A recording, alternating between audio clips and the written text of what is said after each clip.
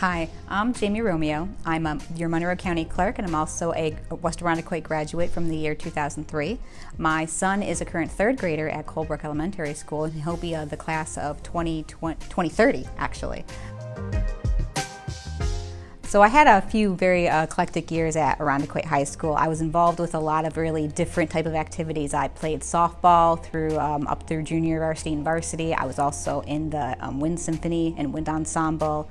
Um, but I also spent a lot of time over down at the House of Guitars, going down to Water Street. So it was I was very fortunate that Irondequoit was really just such a melting pot of a town, and a lot of my own interests I was able to get involved in a lot of different areas that you wouldn't necessarily think a student has a one track into.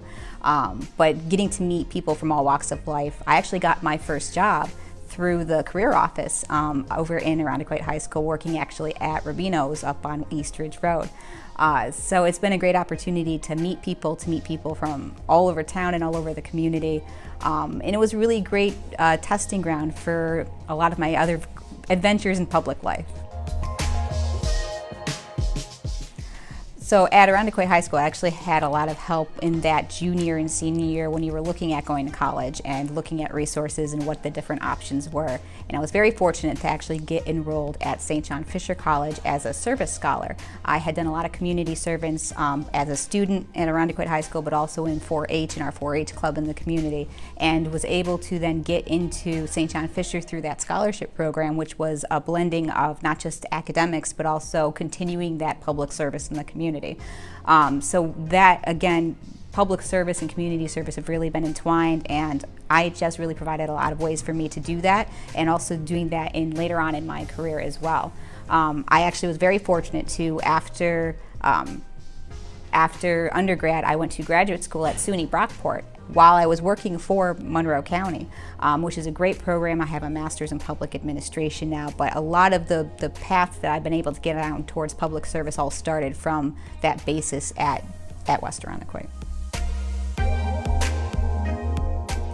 So one of the biggest opportunities I've had lately was when the governor appointed me to be the Monroe County clerk, which came about four weeks before the COVID-19 pandemic came in and the world stopped for a moment and we had to retool everything that we do here. But I really feel prepared for this job because there were a lot of opportunities that came to me that you didn't expect, but you have to seize the moment. And the biggest one for me came when I was a Fisher student at college and I was offered an unpaid internship here at the county legislature.